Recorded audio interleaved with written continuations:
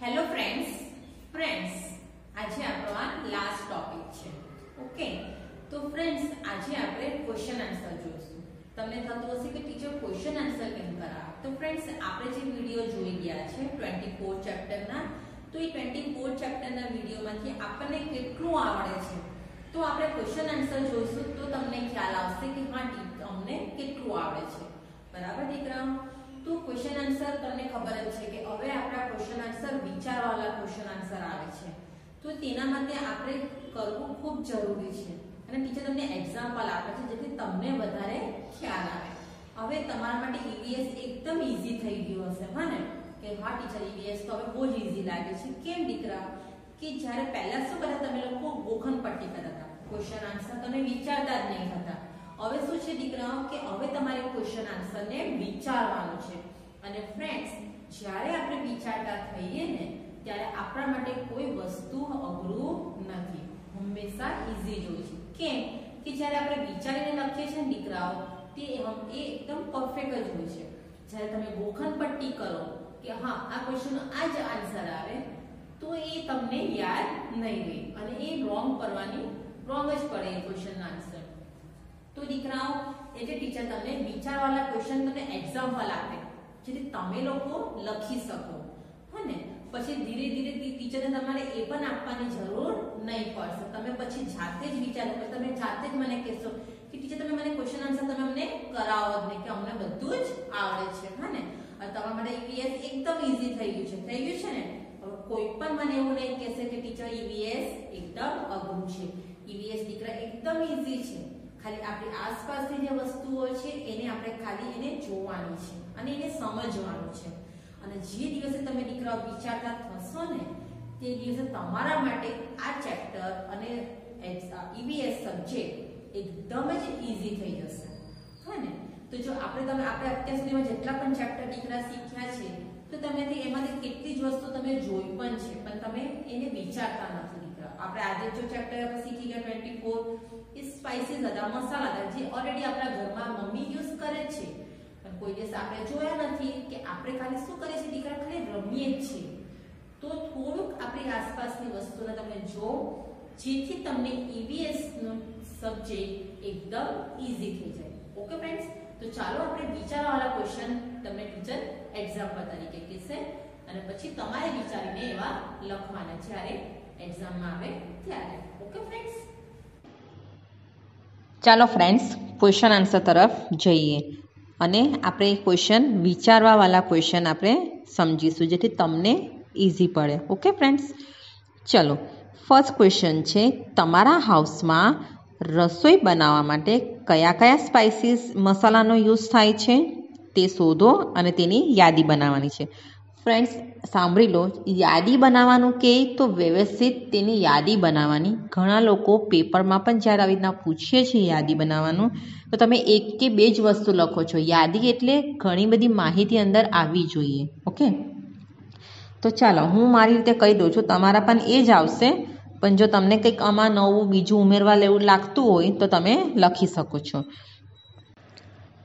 જો, ચીલી, મરચું ટર્મરિક હળદર, ધાણા જીરું, રાઈ, મેથી, હજમો, હિંગ, તજ, પછી બ્લેક પેપર, મરી, લવિંગ ઇલાયચી જિંજર, આદુ, ગાર્લિક, લસણ, તમાલપત્ર, આ બધું તમારા ઘરમાં યુઝ થતા હશે, હા ને, સ્પાઇસીસ. આના સિવાય જો કંઈ રહી ગયા હોય તો તે પણ તમે વિચારી શકો છો, ઓકે? જો એક્ઝામમાં પૂછાય તો યાદી બનાવવાનું કે દીકરા, તો બધી જ વસ્તુનો ઉલ્લેખ કરવાનો. હા ને અને તમારા ફ્રેન્ડની પણ જો યાદી તમે જોશો, તો તમારા જેવી સેમ જ હશે કે બધાના ઘરે સેમ જ મસાલા સ્પાઇસીસ હોય છે, હા ને? ચાલો. સેકન્ડ ક્વેશ્ચન જોઈએ. જ્યારે તમારા ગ્રેન્ડફાધર ગ્રેન્ડમધર એટલે દાદા, દાદી નાના હતા, ત્યારે તેમના કિચનમાં મોટા ભાગે કયા સ્પાઇસીસનો યુઝ થતો હતો? તો તમારે તેમને પૂછવાનું છે. તો ફ્રેન્ડ્સ શું લખવાનું? તો તેમાં પણ તેઓ આ જ યુઝ કરતા હશે, હા ને? કંઈક નવા તો નહીં હશે ને? તો ચીલી ટર્મરિક ધાણા જીરું, ગાર્લિક, રાઈ, મેથી, હજમો, હિંગ, જિંજર એટલે આદુ તજ ને લવિંગ. અને જો ઘણા બધા, ઘણાના કોઈ સ્વામિનારાયણ હશે, જે આદુ જે લસ કાના લસણ નહીં ખાતા હશે, લસણ નહીં ખાતા હશે, તો તે લોકો નહીં લગશે હા ને? તે લોકોના ઘરમાં બંધ, એ નાખતા જ નહીં હશે.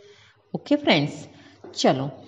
એક એવા સ્પાઇસીસનું નામ આપો કે જે નમકીન અને મીઠી બંને જ વસ્તુમાં નંખાય છે. નમકીન એટલે જે આપણે મસ્ત ખાતા હોઈએ એમ. નમકીન વસ્તુ અને મીઠી વસ્તુ, આ બંનેમાં યુઝ થાય તે. તો ફ્રેન્ડ્સ એવો કયો મસાલા? તો ઇલાયચી ઇલાયચી એવો મસાલા છે જે કે નમકીનમાં પણ અને મીઠી વસ્તુમાં પણ નંખાય છે. ચાલો, હવે ફોર ક્વેશ્ચન રસોઈમાં ખાટો ટેસ્ટ લાવવા તેમાં શું નાખવામાં આવે છે? તો તે શોધો. જો મમ્મી કંઈક એકદમ કંઈક વસ્તુ બનાવતા હશે અને એમાં તે થોડો ખાટો ટેસ્ટ લાવવા માટે એક તો લીંબુ, ટમેટાં લેમન હા ને? ટમેટાં આમલી પછી કોકમ, પછી છે ને ફ્રેન્ડ્સ કોકમના ફૂલ મળે, બહુ જ ખાટા હોય. પછી દહીં વિનેગર આ વધે, વગેરેનો યુઝ કરવામાં આવે છે. ક્યારે? ક્યારેક કંઈક વસ્તુ ખાટું બનાવવા માટે આ બધી વસ્તુઓનો યુઝ કરવામાં આવે છે. આ બધા ક્વેશ્ચન આન્સર તમને પૂછાશે એક્ઝામમાં ઓકે ફ્રેન્ડ્સ હવે ફિફ્થ ક્વેશ્ચન છે, તમારા વિસ્તારમાં કોઈ સ્પાઇસીસ મસાલા ઉગે છે? તો શોધી કાઢો. ને અહીં તેમના નેમ લખો. ઘણાને થતું હશે, હા ને? કોઈના કોઈના વિલેજ હશે તો વિલેજમાં તેઓ સ્પાઇસી ઉગતા હશે. તો હું મારી રીતે લખું, હું કહું છું તમને? તમારે લખવું હોય તો એ રીતે પણ લખજો. મારા વિસ્તારમાં ચીલી, મરચું, હળદર ટર્મરિક ગાર્લિક, જિંજર, લસણ આદુ, જીરું, વરિયાળી આ બધા મસાલા ઉગે છે. ઓકે ફ્રેન્ડ્સ આવા ક્વેશ્ચન વિચારવાળા ક્વેશ્ચન તમને પૂછાય છે. ઓકે, એટલે તમને હવે વધારે ખ્યાલ આવી ગયો હશે. ફ્રેન્ડ્સ એક ક્વેશ્ચન તમને પૂછાય. કે ફૂડ બનાવવામાં બનાવવામાં શા માટે વિવિધ સ્પાઇસીનો યુઝ કરવામાં આવે છે? એટલે તમે જે ખોરાક બનાવવા માટે કેમ મસાલાનો યુઝ કરવામાં આવે છે? તો ફ્રેન્ડ્સ જો સ્પાઇસીસ નાખવાથી ખોરાક શું બને છે? એકદમ ટેસ્ટી બને છે. ઓકે પછી સેકન્ડ તેનાથી ખોરાકમાં રસ, રુચિ જળવાઈ રહે છે.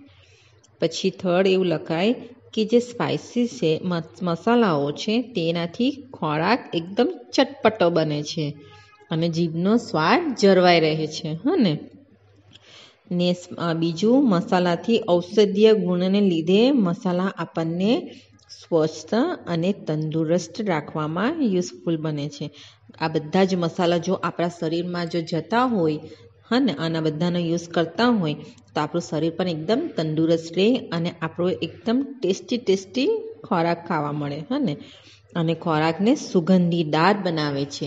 આ બધા સ્પાઇસીસ ખોરાકને એકદમ સુગંધીદાર બનાવે છે. આવો પણ ક્વેશ્ચન પૂછાય ઓકે કે ખોરાક બનાવવા માટે આપણે મસાલાનો યુઝ શું કામ કરવામાં આવે છે? તો એક તો મસાલા નાખવાથી ખોરાક સ્વાદિષ્ટ બને છે પછી ખોરાક ચટપટો બને છે અને જીભનો સ્વાદ જળવાઈ રહે છે. ઔષધીય ગુણોને લીધે મસાલા આપણને એકદમ તંદુરસ્ત રાખવામાં યુઝફુલ બને છે અને ફૂડને એકદમ સુગંધીદાર બનાવવામાં યુઝ થાય છે. ઓકે? ચાલો, આ તો તમને બધાને આવડતો જ હશે. મને કહેશો કયા સ્પાઇસીસ આપણા શરીરમાંથી ચિકાસ અને કફ દૂર કરે છે? તો ફ્રેન્ડ્સ, કફ માટે મેં તમને આપણે જોઈ ગયા હતા તરમરી, હળદર. અને બીજું છે લવિંગ. આ બે મસાલા આપણા શરીરમાં જે ચિકાસ અને જે કફ બહુ થઈ ગયો હોય, તેમાં તે યુઝ થાય છે. એક થર્ડ છે કે વિન્ટરમાં ગોળ ઘી સાથે કયા મસાલાની ગોળી બનાવી આપણે ખાઈએ છીએ? ફ્રેન્ડ્સ, ઘણાના ઘરમાં બનતું હશે કે શિયાળામાં ઠંડી હોવાથી સૂંઠ ગોળ ઘી સાથે સૂંઠ ભેરવીને તેની ગોળી બનાવવાથી આપણને શરીરની અંદર ગરમાતો રહે. આપણને ખબર છે ઠંડીની અંદર આપણને એકદમ આમ કંપારી આવે છે. તો તે આ ગોળ ઘી સાથે સૂંઠ ખાવાથી કંપારી નહીં આવે. શરીરમાં ગરમાતો રહે. એટલે ઘણાના ઘરે આવી રીતના ખાતા હશો. હા ને? તો આપણે ક્વેશ્ચન આન્સર પણ જોઈ ગયા. હા ને? તમને મજા આવી ગઈ. હા ને? ઘણું બધું શીખી ગયા. હવે તમે ડૉક્ટર બની ગયા. તમે ઘરમાં પણ તમે ઈલાજ કરી શકો છો. બરાબર? આ લેસન ખૂબ જ સરસ હતું.